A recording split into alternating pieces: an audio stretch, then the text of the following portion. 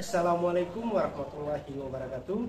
Salam sejahtera untuk kita semua. Shalom, Om Swastiastu, Namo Buddhaya, dan salam kebajikan.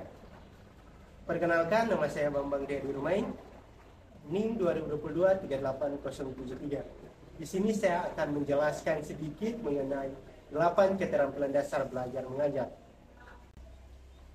8 keterampilan dasar belajar mengajar sebagai seorang guru, kita patut memiliki delapan keterampilan belajar mengajar dalam diri kita supaya proses pembelajaran bisa berjalan dengan lancar dan bisa memenuhi uh, aturan-aturan pembelajaran. Yang pertama, keterampilan membuka dan menutup pelajaran. Bagi seorang guru, keterampilan membuka dan menutup pelajaran adalah keterampilan dasar yang sangat penting dan sangat penting dimiliki untuk mencapai pembelajaran yang efektif dan efisien menarik dan menyenangkan. Terus apa-apa saja cara membuka dan menutup pelajaran? Yang pertama, membuka pelajaran. Satu, menyapa siswa dengan semangat. Yang kedua, menarik perhatian siswa. Yang ketiga, memberi motivasi kepada siswa. Dan yang keempat, menerangkan materi dan hal-hal yang terkait sebelumnya. Dan yang kedua, cara menutup pelajaran. Meninjau kembali materi pertemuan tersebut dan yang kedua, evaluasi pembelajaran. Dan yang ketiga, memberi dorongan sosial. Dan selanjutnya kita masuk ke keterampilan dasar yang kedua yaitu keterampilan menjelaskan pelajaran.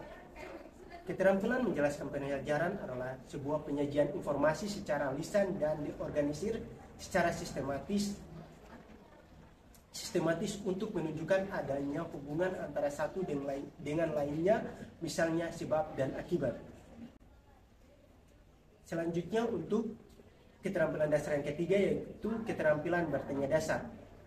Komponen-komponen yang dimaksud adalah pengungkapan pertanyaan secara jelas dan singkat, pemberi acuan, pemusatan, pemindah giliran, penyebaran, pemberi waktu berpikir, dan pemberi tuntutan. Keterampilan dasar yang keempat. Keterampilan dasar yang keempat itu keterampilan bertanya lanjut. Keterampilan bertanya lanjut adalah kecakapan guru dalam mengajukan pertanyaan kepada peserta didik untuk lebih mengutamakan usaha pengembangan kemampuan berpikir peserta didik. Yang kelima, keterampilan mengolah kelas. Ada keterampilan mengolah kelas adalah keterampilan seorang guru untuk menciptakan dan memilih, memilih kondisi belajar yang optimal serta keterampilan guru dalam mengembalikan kondisi belajar yang terganggu ke arah kondisi belajar yang optimal. Yang keenam, keterampilan mengadakan variasi. Keterampilan mengadakan variasi ialah gaya mengajar yang terdiri dari pemusatan perhatian, penggunaan variasi suara, kesanggupan, kontak pandang, gerak badan, mimik, dan penggantian posisi guru dalam kelas. Selanjutnya kita masuk ke keterampilan dasar yang ketujuh yaitu keterampilan dasar memberikan penguatan.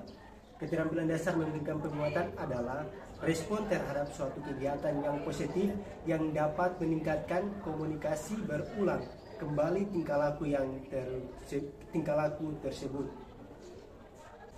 Selanjutnya kita masuk ke keterampilan dasar yang terakhir yaitu keterampilan dasar membimbing diskusi kelompok kecil. Keterampilan dasar membimbing diskusi kelompok kecil adalah salah satu bentuk kegiatan pembelajaran yang penggunaannya cukup sering diperlukan dengan ciri satu melibatkan 3 sampai 9 orang peserta didik, dua berlangsung dalam situasi tatap muka yang informal, tiga mempunyai tujuan yang dicapai dengan kerjasama antar anggota, empat berlangsung menurut proses yang sistematis. Itulah video singkat mengenai 8 keterampilan mengajar dari saya. Semoga bisa bermanfaat untuk kita semua. Wassalamualaikum warahmatullahi wabarakatuh. Shalom, salam olahraga jaya.